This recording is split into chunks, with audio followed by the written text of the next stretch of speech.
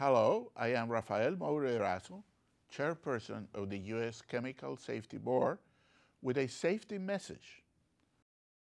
On February 7, 2010, a huge explosion tore through the Kleen Energy power plant, which was under construction in Middletown, Connecticut. Six workers were killed and many others were injured. The explosion occurred during what is called a gas blow.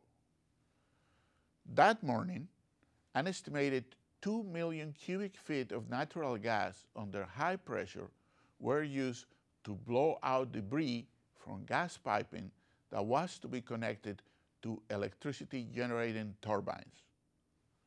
The gas ignited and exploded. The CSB determined that natural gas blows are inherently unsafe practices and should be prohibited. Following the accident at Kleen Energy, the CSB issued urgent safety recommendations to a variety of recipients.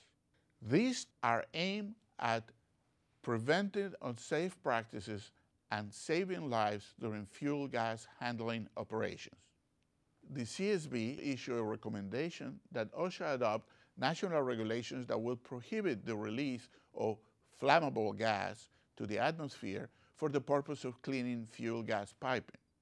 The CSB furthermore recommended that the National Fire Protection Association, or NFPA, and the American Society of Mechanical Engineers make changes to their codes to require the use of inherently safer alternatives to natural gas blows. These safer methods include using air or non-flammable nitrogen or using a cleaning device called a PIG, pushed by air, to remove debris from pipes.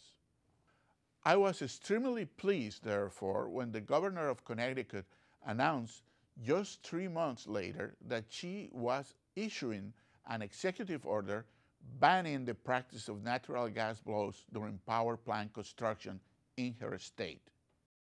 Governor Rell has provided a model that other states, industry code organizations, and the federal government should follow. The unsafe practice of using flammable gases to clean piping needs to stop. Lives can be saved.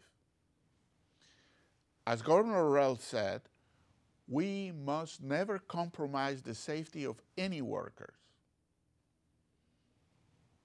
Thank you for watching this CSB safety message.